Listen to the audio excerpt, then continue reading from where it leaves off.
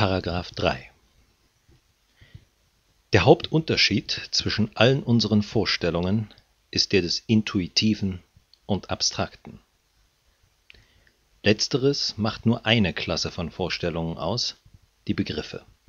und diese sind auf der Erde allein das Eigentum des Menschen, dessen ihn von allen Tieren unterschiedene Fähigkeit zu denselben von jeher Vernunft genannt worden ist. Kant allein hat diesen Begriff der Vernunft verwirrt, in welcher Hinsicht ich auf den Anhang verweise, wie auch auf meine Grundprobleme der Ethik.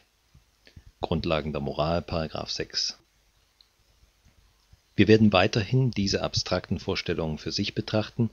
zuvörderst aber ausschließlich von der intuitiven Vorstellung reden.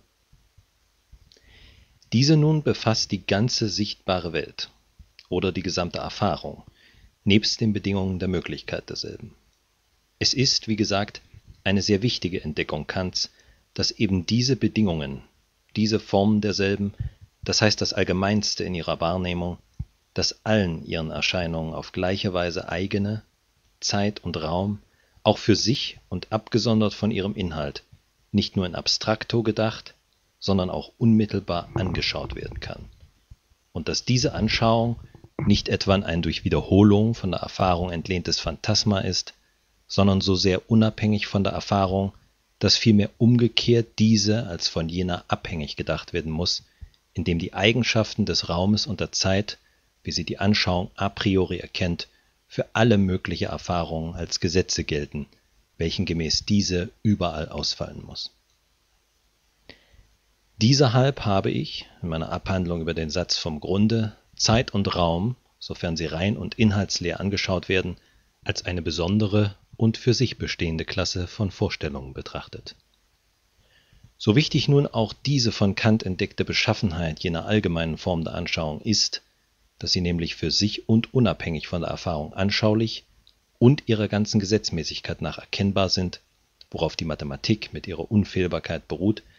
so ist es doch eine nicht minder beachtungswerte Eigenschaft derselben, dass der Satz vom Grunde, der die Erfahrung als Gesetz der Kausalität und Motivation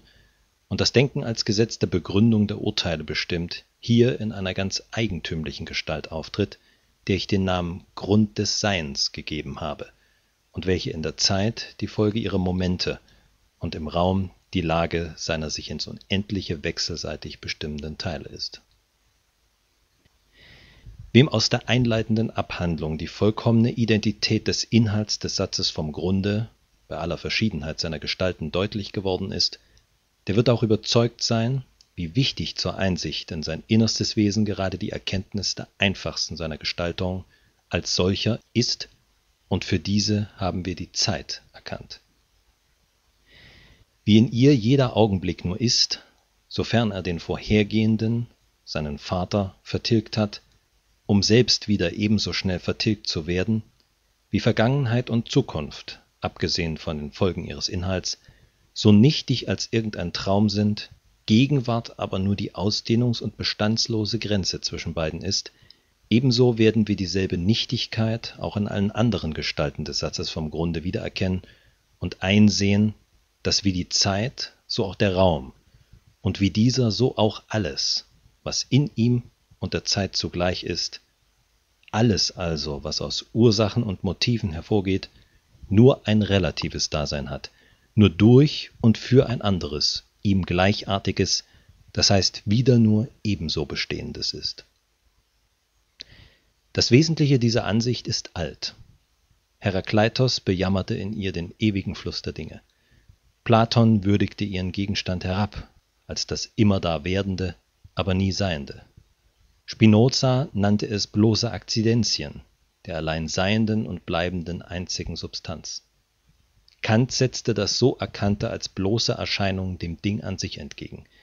Endlich die uralte Weisheit der Inder spricht, es ist die Maya, der Schleier des Truges, welcher die Augen der Sterblichen umhüllt und sie eine Welt sehen lässt, von der man weder sagen kann, dass sie sei, noch auch, dass sie nicht sei denn sie gleicht dem Traume, gleicht dem Sonnenglanz auf dem Sande, welchen der Wanderer von ferne für ein Wasser hält, oder auch dem hingeworfenen Strick, den er für eine Schlange ansieht. Diese Gleichnisse finden sich in unzähligen Stellen der Veden und Puranas wieder. Was alle diese aber meinten und wovon sie reden, ist nichts anderes, als was auch wir jetzt eben betrachten. Die Welt als Vorstellung, unterworfen den Satz des Grundes.